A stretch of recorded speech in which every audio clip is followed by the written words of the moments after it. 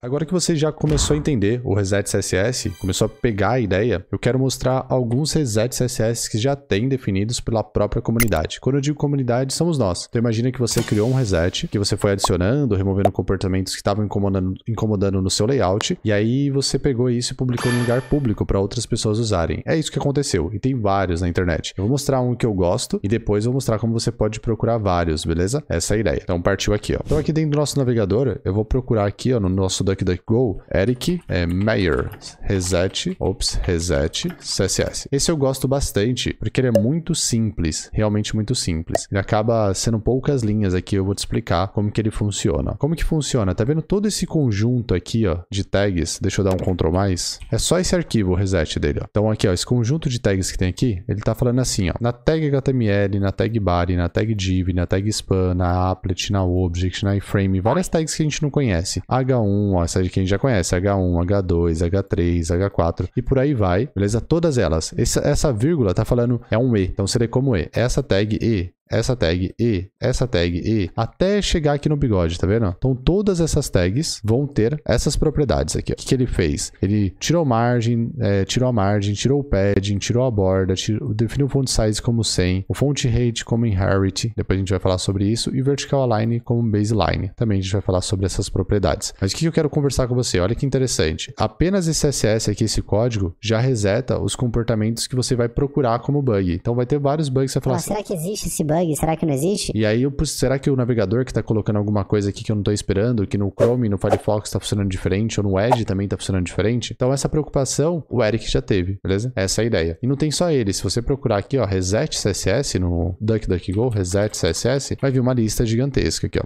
Do Eric tá aqui. Aí tem aqui do GitHub, ó, tá vendo? Mais alguns. Legal. Não, esse aqui é do próprio Eric ainda assim. Vamos ver se a gente acha um outro, né? O dele é bem famoso mesmo. Reboot, ó. CSS Tricks, falando alguma coisa, beleza? Aí você vai achar provavelmente algum. Ah, aqui, ó, ele tá explicando a mesma coisa, tá vendo?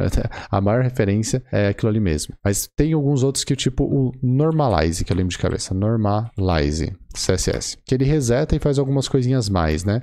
Então você pode fazer o download, mas ó, olha como é interessante. Eu vou só clicar no download. Olha como é muito maior esse reset, tá vendo? Ele tem outros comportamentos que já não tem suporte. Deixa eu puxar aqui para trás, ó, só para minha câmera não ficar na frente para você. Olha que interessante. Tem outros comportamentos aqui. Vou dar um Ctrl mais para você conseguir enxergar, tá vendo só? Então aqui é um pouco mais complexo e tem os comentários no meio explicando e tudo mais. Então cada reset tem o seu propósito, beleza? Se você escrever o seu e o seu funcionar e você testar nos navegadores que você quer dar suporte você escreveu bom reset. O fato é, em algum momento você vai acabar copiando um reset desses, o normalize e tudo mais. Se a gente procurar aqui, ó, list reset CSS, talvez apareça uma lista aí pra gente. Não, no Google não. List reset CSS. Não gosto do Google. Ah, agora vai no Google. Vamos ver se tem uma lista aqui pra gente, né? What default, styles, vanilla. Deixa eu ver se tem algum rolê. Ó, tem o, esse modern não sei o que lá aqui. Ah, não, é outro rolê esse aqui. Tá, mais um reset, tá vendo? Ó, você vai procurando, você vai achando vários resets. Ó, reset com media query que a gente nem viu ainda o que é. Então, cada reset tem o seu comportamento aí. O nosso, você pode olhar vários na internet e copiar um. Se você for copiar um, eu prefiro que você copie o do Eric Meyer, beleza? Vai aí no Google, vai procurando o que você vai achar. Mas, caso você queira escolher um outro reset, escrever o reset comigo, quer dizer, eu vou escrever durante a aula e vou explicando tudo que eu tô removendo e por que, que eu tô removendo, para ficar bem didático e bem tranquilo. Esse é o meu propósito. Eu tô te mostrando que a comunidade tem e nosso dia a dia na prática, presta atenção nisso, é importante. No dia a dia a gente copia algum reset, beleza? Aqui é por motivo didático. Eu vou te passar e vou passar por todas as propriedades porque eu quero te ensinar essas propriedades e mostrar o comportamento delas. E a fundo nisso. Mas no dia a dia de trabalho você vai pegar e copiar um desses ou o projeto que você vai trabalhar numa empresa já está copiado. Top? Então não se preocupa. O Normalize é muito usado e o do Eric também. Show? Isso é importante você ter em mente. Não falar assim. Putz, o que o Marcos tá fazendo? É, realmente